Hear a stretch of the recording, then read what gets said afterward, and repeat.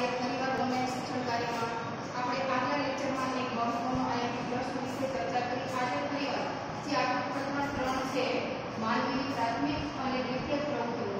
એની અંદર આપણે એક મહત્વનો પ્રશ્ન જે મોટે ભાગે ડી ભાગમાં પૂછાતો હોય છે પણ હાલમાં જે ત્રીસ ટકા અભ્યાસક્રમ બાદ કર્યો છે તો આ પ્રશ્ન ઘણીવાર ડી વિભાગમાં પણ પૂછાય છે ડી અથવા ઈ વિભાગમાં આ પ્રશ્ન ચોક્કસ પૂછાય જે આપણે એને આઈએમપી પ્રશ્ન કહી શકીએ તો આ પ્રશ્ન છે અસ્થાયી પશુપાલન અને વ્યાપારિક પશુપાલન તો અસ્થાયી પશુપાલન અને વ્યાપારિક પશુપાલન શું છે અને એના તફાવત છે આ પશુપાલન ક્યાં જોવા મળે છે પશુઓને સાર સંભાળ કઈ રીતે થાય છે પશુઓને ક્યાં પાળવામાં આવે છે અને આ પશુઓને પાળતા લોકો ક્યાં વસે છે તો આ દરેક વસ્તુની ચર્ચા આ તફાવતની અંદર આપેલી છે તો આપણે પહેલી જો તફાવત જોઈએ અહીંયા મેં બધું લખ્યું છે ટૂંકમાં લખ્યું છે કે અસ્થાયી જીવન ગાળે છે કે જે આ અસ્થાયી પશુપાલનની અંદર જે કુટુંબો જે લોકો જે પશુપાલન પાળે છે એ શું કરે છે એક જગ્યાએ સ્થાયી થઈને રહેતા નથી એ પશુઓને લઈ અને સિઝન પ્રમાણે ઋતુ પ્રમાણે થઈ રહ્યા છે એ શું કરે છે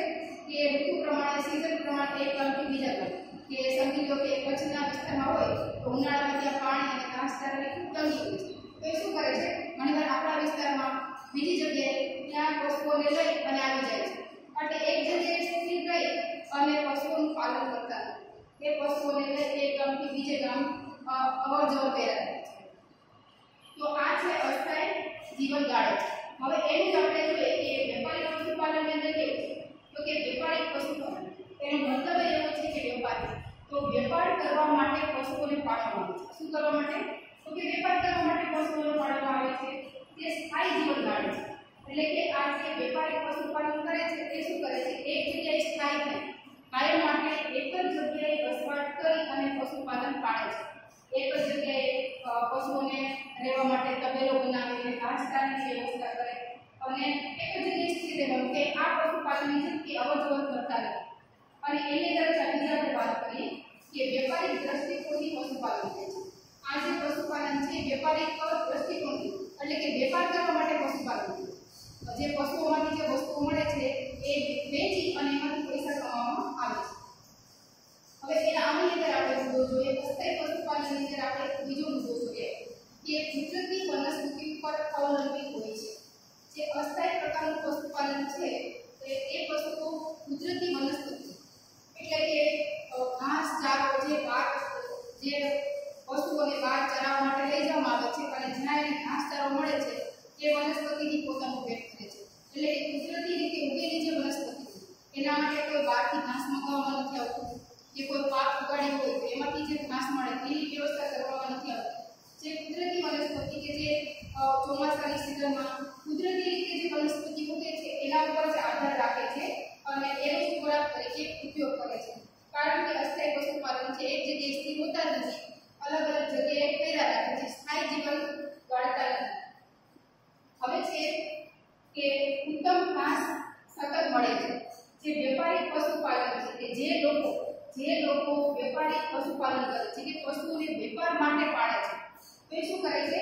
એને ઉત્તમ ઘાસ સારો સતત આપે છે. સારો ઘાસ સારો બજારમાંથી મેળવી આપણે જોઈએ કે કોળ છે, કપાસિયા છે એવો ઘાસ સારો આપતો તો એને ઉત્તમ ઘાસ સારો આપવામાં આવે છે અને પાકમાંથી જે ઘાસ મળે છે ઘાસ સારો મળે છે, એ પણ એને આપવામાં આવે છે. હવે આપણે અસ્થાયી પશુપાલનની અંદર આપણે બીજો કોઈ લઈએ તો દૂધ, માંસ ચામડું મેળવવા માટે પશુપાલન થાય છે. અહીંયા ખાસ જીવન નિર્વાહ માટે આજે અસ્થાયી પશુપાલન પાળતા જે લોકો છે, એ પોતાનું જીવન નિર્વાહ માટે પશુનું પશુપાલન કરે છે. એ કાંઈ વેપાર કરતા નથી. મોટે ભાગે પોતાના માટે દૂધ, માંસ ચાંદો અમુક વસ્તુ થોડી ઘણી વસ્તુ બહાર વેચતા હોય. બાકી પોતા માટે પોતાનું જીવન નિર્વાહ ચલાવવા માટે પશુપાલન કરે છે. અને એમાંથી દૂધ, માંસ ચાંદો મેળવવા માટે આ પશુપાલન થાય છે. આ કેટલી વસ્તુ મેળવવા માટે પશુપાલન કરે છે. એનાથી વધારે આ જે અસ્થાયી પશુપાલનમાં કંઈ મેળવી શકતા નથી હવે એનું જ આપણે જોઈએ કે વેપારી પશુપાલન એનો ત્રીજો મુદ્દો છે. આપણે આગળ આગળ જ જોયું કે આ જે વેપારી પશુપાલન કરતા લોકો વેપાર માટે જ પશુઓને પાળે છે. તો એમાંથી દૂધ, માંસ, ચામડું ઊન માંસ, ઈરા મેળવવા પશુપાલન કરે છે. આમાં ખાસ કરીને શું કરે છે કે પશુઓ દ્વારા વેપાર કરે છે એનું દૂધ એના માંસ અને ચામડા વેચે અને પછી ખાસ કરીને વૈજ્ઞાનિક ઢબે પશુપાલન કરે છે. વૈજ્ઞાનિક ઢબે એટલે કે એ માટે સારી વ્યવસ્થા ઉનાળો તો પંખાની વ્યવસ્થા કરે, ચોમાસામાં વરસાદ ન પડે એ વ્યવસ્થા કરે. ખાસ વૈજ્ઞાનિક ઢબે પશુપાલન કરવામાં આવે છે અને એમાંથી દૂધ માંસ ચામડું આ ઈંડા જે વગેરે વસ્તુઓ મળે છે, એ બીજા દેશમાં અથવા આપણા દેશમાં વેચી અને એનાથી પૈસા કમાય છે. ખાસ કરીને વેપારી પશુપાલન, વેપાર કરવા માટે જ વસ્તુને પાડવામાં આવે છે. ઘણી વાર આપણે જોતા હોઈએ ઘણા બધા તબેલાની અંદર ઘણા બધા આપણા પશુઓ હોય છે, પાળવામાં આવે છે, સારી ઘાસચારો આપવામાં આવે. તો એવી રીતે વેપારી પશુપાલન થાય છે.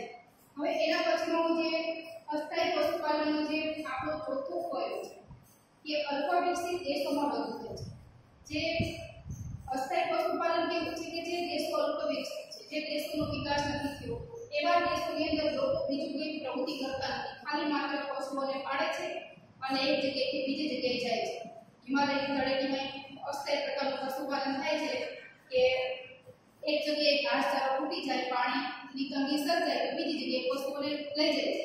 એટલે કે જે દેશનો વિકાસ નથી થયો અલ્પ વિકસિત દેશો છે. ત્યાં આ પ્રકારનું પશુપાલન જોવા મળે છે. અલ્પ વિકસિત દેશોમાં અસ્થાયી પ્રકારનું પશુપાલન થાય છે.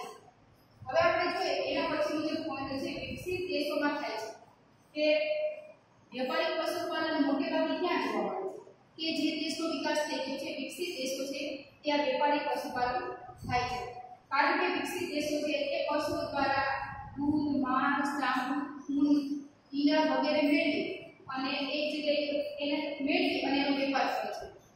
ખાસ કરીને વૈજ્ઞાનિક ઢબે પાડવામાં આવે, એને ઉત્તમ પ્રકારનો ઘાસચારો આપવામાં આવે, એને વૈજ્ઞાનિક દ્રષ્ટિકોણથી એનો ઉછેર કરવામાં આવે, એની સાર સંભાળ લેવામાં આવે વગેરે વસ્તુઓ દ્વારા એનો વેપાર કરવામાં આવે છે.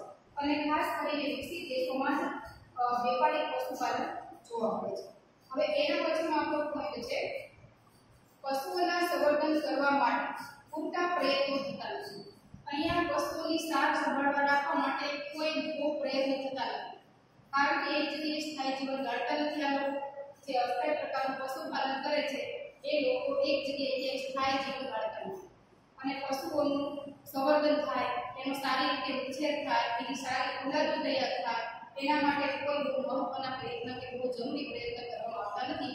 થોડી ઘણી એની સાર સંભાળ રાખવામાં આવે છે, અને એક જગ્યાએ બીજી જગ્યાએ એને એક જગ્યાએથી બીજી જગ્યાએ લઈ આવે છે. અને એવો સારો ઘાસચારો પણ આપવામાં આવતો નથી.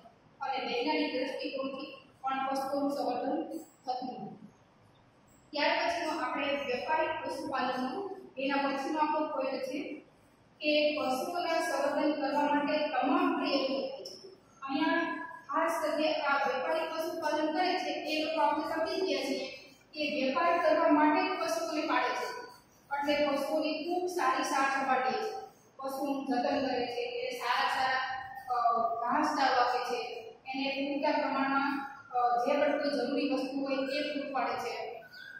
ત્યાર પછી ઉત્તમ ઓલાદો કે સારી ઓલાદો તૈયાર કરવા માટે ખૂબ પ્રયત્ન કરવામાં આવે છે. અને વૈજ્ઞાનિક દ્રષ્ટિકોણથી એના પ્રયત્નો કરવામાં આવે છે.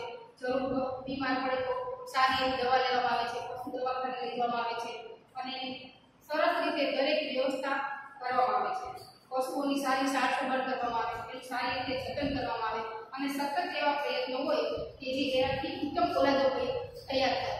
કે પશુઓ દ્વારા જે ઓલાદો મળે છે એ સારી ઉત્તમ પ્રકારની ઓલાદો તૈયાર થાય એવા પ્રયત્ન કરવામાં આવે છે તો મિત્રો આપણે પ્રકરણ ત્રણની અંદર આ તો ખૂબ આયોજિત પ્રશ્ન છે અસ્થાયી પશુપાલન વ્યવહારિક પશુપાલન આ વખતે પણ આપણે બે ત્રણ વાર જે પેપર લીધા એની અંદર આ પ્રશ્ન ચોક્કસ હતો અને હોય જ છે દર વર્ષે હોય છે ખૂબ આયોજિત પ્રશ્ન છે અને એની અંદર આવી રીતના આપણે ચાર પોઈન્ટ ચારથી પાંચ પાંચ પોઈન્ટ લખી નાખવા અગાઉ આપણે સારી પ્રસ્તાવના લખવું નીચે ઉપસંહાર લખવો તો એવી જ રીતે આ પ્રશ્ન આપણે લખી નાખવા ટૂંકમાં હજી ખરેખર સમજાવી તો કે અસ્થાયી જીવન ગાળે છે અને આ વ્યવહારિક પશુપાલનથી શું કરે છે સ્થાયી જીવન ગાળે છે એટલામાંથી તમને આખું યાદ રહી જશે એટલે તમે થોડા થોડા પોઈન્ટ યાદ રાખશો તમે આખો પોઈન્ટ એની અંદર લખી શકશો મેં અહીંયા શું કર્યું છે કે થોડું એવું ખાલી મહત્વનું જે પોઈન્ટ છે એ જ વચ્ચેથી મેં લઈ લીધું છે ત્યાર પછી બીજું છે કે તે કુદરતી વનસ્પતિ પર અવલંબે છે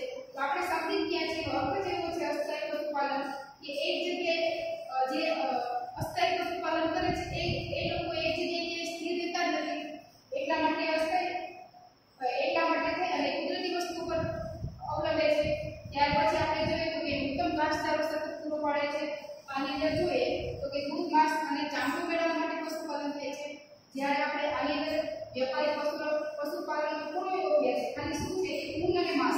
અને